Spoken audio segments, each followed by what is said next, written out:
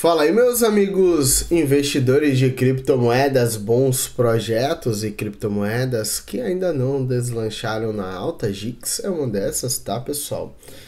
É uma criptomoeda de inteligência artificial, tá? Na Binance. Já aí teve sua alta histórica nos 95 centavos, a gente está muito próximo dele, 200%, se eu não estou enganado, 210% de alta até seu topo histórico tem 382 de market cap e 62 milhões de volume nas últimas 24 horas, tem um fornecimento circulante de 1 bilhão de tokens, está quase com 100% do seu fornecimento circulante no mercado. Na, no, no, último ano ela subiu 254%, nos últimos 200 dias 28%, nos últimos 30 dias 1,59%. Caiu nos últimos 14 dias, recuperou nos últimos 7, tá 005 nesse momento. A Gix, pessoal, é para mim uma grande aposta de mercado. Acredito que ela tem potencial de chegar a 2, 3, 4 dólares, quem sabe 5 dólares na out season, tá? Só que das criptomoedas que eu acompanho entre Numerary, Ocean, Nunet, que também caiu bastante, é, SDAO, ela performou melhor do que algumas delas. Nenhuma performou melhor do que a FET.ai, tá? A FET tá aí disparando aí dessas que eu trago aqui no canal a melhor criptomoeda de inteligência artificial que mais se valorizou.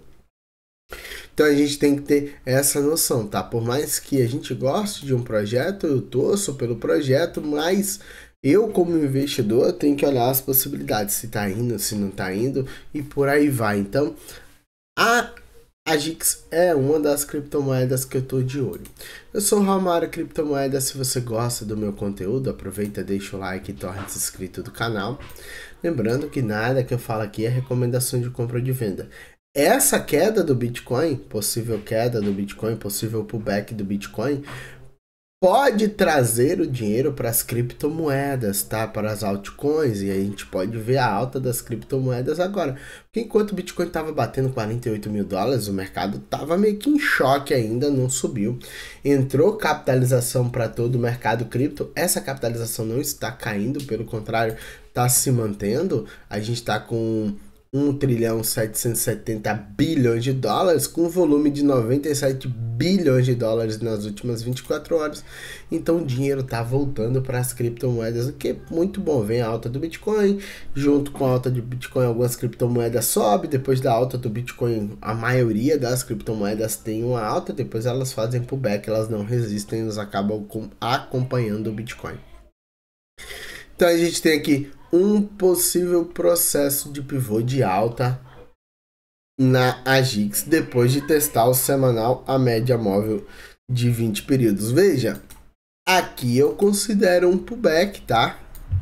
Numa onda 1 de reversão, a gente está aí na onda 2, cravou 61.8 de Fibo, é disso que eu estou falando.